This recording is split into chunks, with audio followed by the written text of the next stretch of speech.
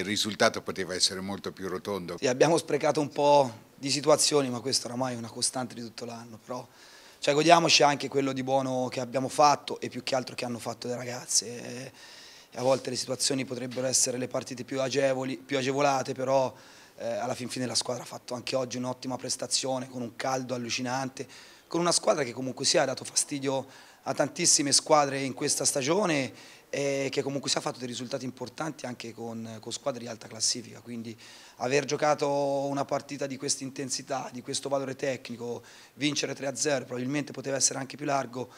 credo che sia un grande merito delle ragazze e una grande soddisfazione. Livrea era venuta qua cercando di fare risultato e si è visto da quello che ha provato a fare durante la partita. È normale che quando ci sono queste parti qui diventa difficoltoso a volte, no? cioè, cercare di mantenere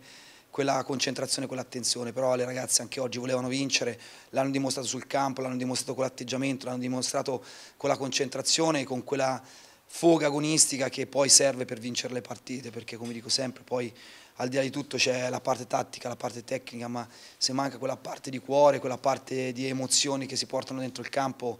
il calcio si riduce veramente a poco. Oggi ho cercato di far giocare qualcuno che ha giocato un po' meno, anche perché gli ho dato anche un po' di minutaggio, perché in una stagione allenarsi solamente e non giocare diventa anche difficile che trovi nella condizione. È vero che, eh, vuoi dire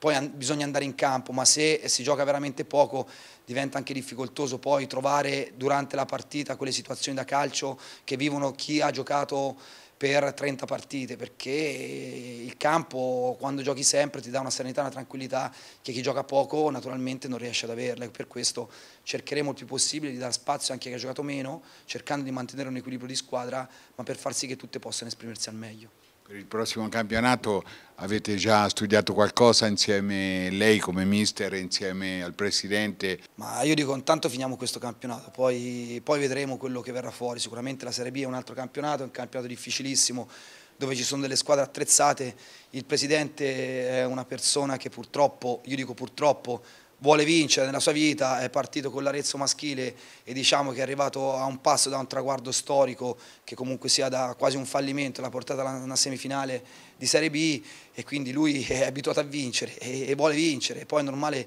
che vincere eh, ne vince sempre solo una e, anche quest'anno ne vinceva solo una e, oggi è contento penso, è contento di questo percorso che è stato fatto ma di quello che è stato creato intorno a questo percorso. E quando poi una persona ci mette